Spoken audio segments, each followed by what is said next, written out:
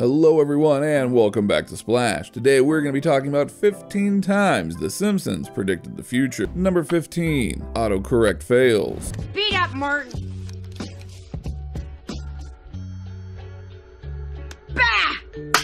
During a Springfield Elementary School assembly, Kearney asked fellow bully Dolph to take a memo to beat up Martin on his Newton, Apple's early attempt at a personal digital assistant. However, the machine translates the message into eat up Martha instead, foreshadowing the common messaging errors people blame on iPhone's autocorrect technology. In fact, Apple's former director of engineering for iOS applications revealed in 2013 that the Simpsons gag served as a rallying cry while developing the software for the iPhone's keyboard. If you heard people talking and they used the words eat up Martha, it was basically basically a reference to the fact that we needed to nail the keyboard. We needed to make sure the text input works on this thing, otherwise you can imagine the number of errors.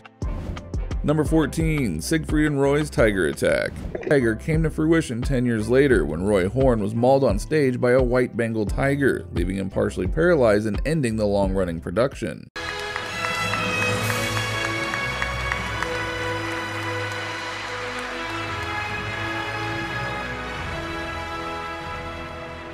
Number 13, the God particle.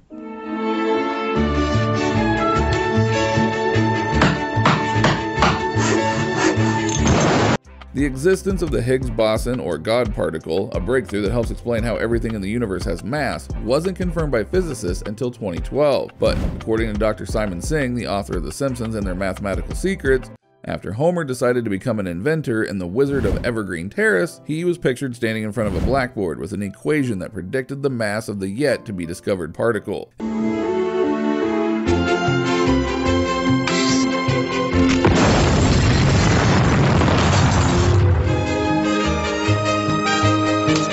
If you work it out, you get the mass of a Higgs boson that's only a bit larger than the nanomass of a Higgs boson actually is kind of amazing as Homer makes his prediction 14 years before it was actually discovered. Why? Uh, yeah, no. No one really is sure why. but it could very well be that there's an exchange. Number 12, FIFA's corruption scandal. Yeah, that's the thing that guys at the dry cleaners get so excited about every four years. I'm afraid there has been an epidemic of referees being bribed to throw games. From the pre Although the World Football Federation representative who asked Homer for help repairing the organization's image isn't explicitly named as a member of FIFA. Myself, I'm about to be arrested for corruption. You will have to take it from here, Peter.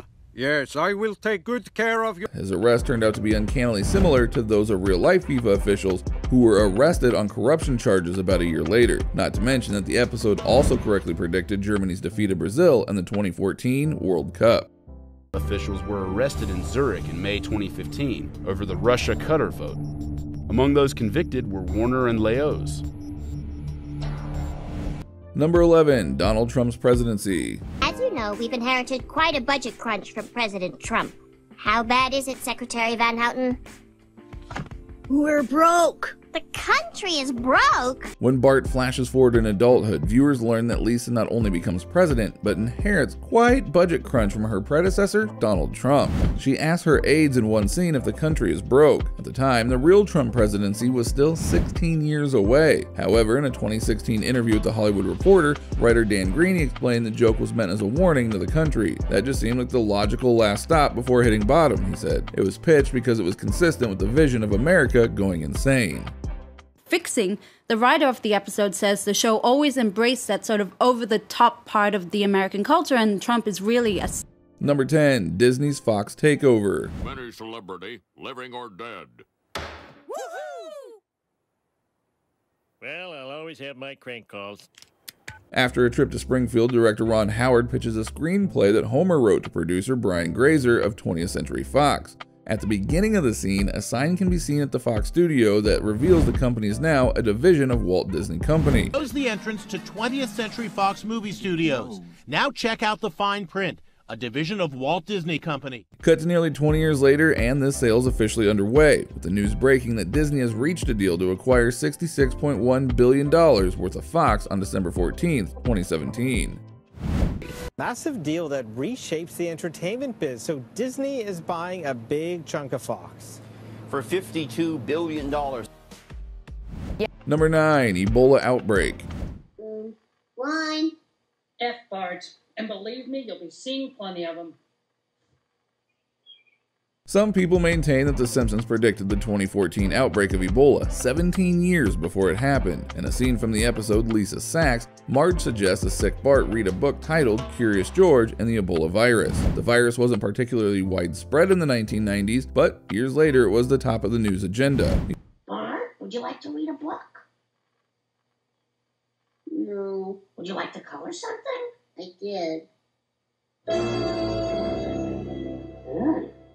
Ebola was first discovered in 1976, and though this latest outbreak has been the worst yet, it killed 254 people in the Democratic Republic of Congo in 1995 and 224 in Uganda in 2000.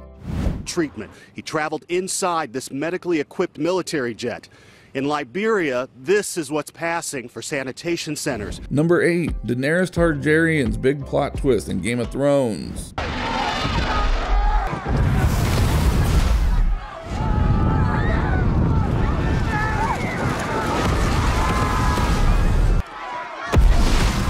One of the penultimate episodes of Game of Thrones, Daenerys Targaryen shocked fans when she and her dragon laid waste to an already surrendered King's Landing, obliterating thousands of innocent people.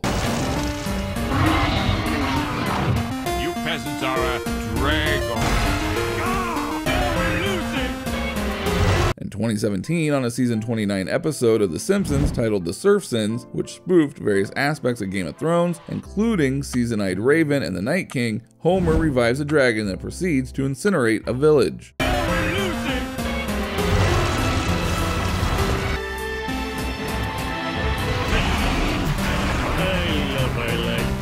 Number 7. The US beat Sweden in curling at the Olympic Games.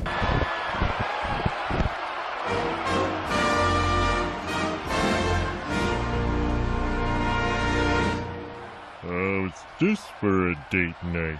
In one of the biggest upsets of the 2018 Winter Olympics, the U.S. curling team won gold over the favorite Sweden. This historical win was predicted in a 2010 episode of The Simpsons called Boy Meets Curl. In the episode, Marge and Homer Simpson compete in curling at the Vancouver Olympics and beat Sweden.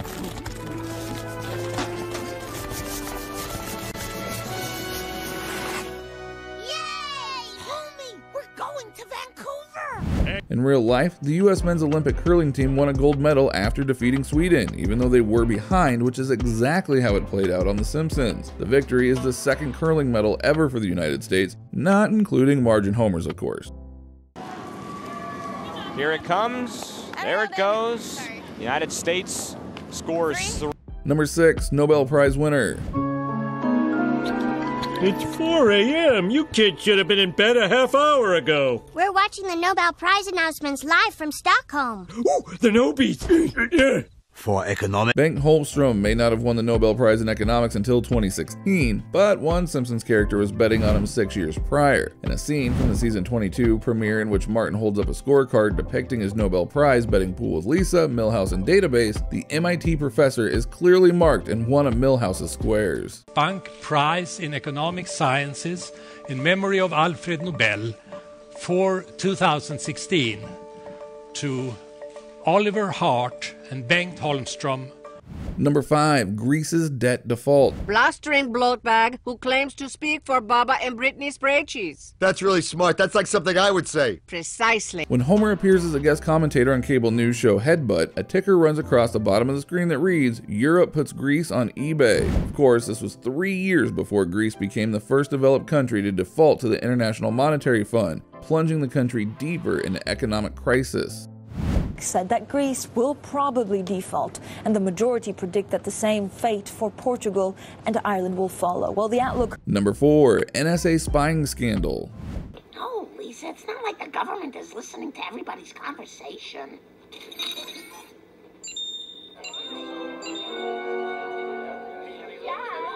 When the Simpson family is forced to go into hiding following their escape from the EPA biodome and closing Springfield, the NSA locates Marge and the kids by listening in on one of their conversations.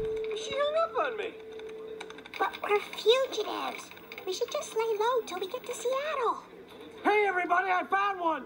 The government! government actually? However, it wasn't until six years after The Simpsons movie hit theaters that Edward Snowden first blew the whistle on the government mass surveillance of Americans' phones and internet records. When the whistle was finally blown, it was discovered that the NSA had recorded about 157 million calls.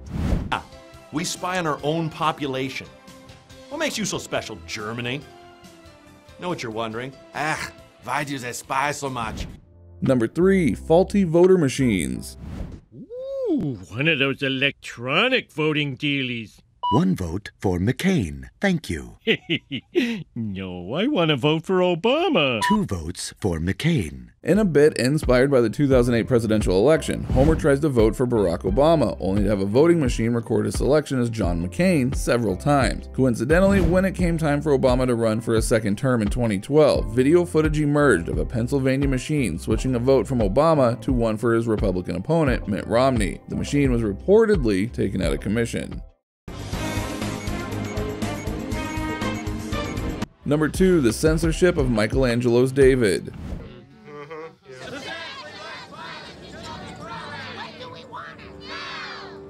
An episode from 1990 titled Itchy and Scratchy and Marge showed Springfieldians protesting against Michelangelo's statue of David being exhibited in the local museum, calling the artwork obscene for its nudity. Needless brutality. I don't know if I'm having any impact at all. The satire of censorship came true in July of 2016 when Russian campaigners voted on whether to clothe a copy of the Renaissance statue that had been set up in central St. Petersburg.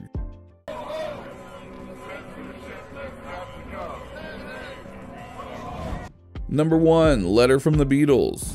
In response to your letter of December the 12th, 1966, my favourite colour is blue, and my real first name is Richard. In 1991, an episode of The Simpsons saw the Beatles' Ringo Starr diligently answering fan mail that had been written decades ago. From Mary O'Giglin. From the desk of Ringo Starr. Dear Marge, thanks for the fat painting of yours truly. In September 2013, two Beatles fans from Essex received a reply from Paul McCartney to a letter and recording they sent to the band 50 years ago. The recording was sent to a London theater the band was due to play at, but was found years later in a car boot sale by a historian. In 2013, the BBC's The One Show reunited the pair with the letter, plus a reply from McCartney. There's been times when not only did, though I have those hesitant three seconds, uh, I have actually puked before I went on. Also, while you are here, go ahead and check out some of these other videos on your screen, and we'll see you there.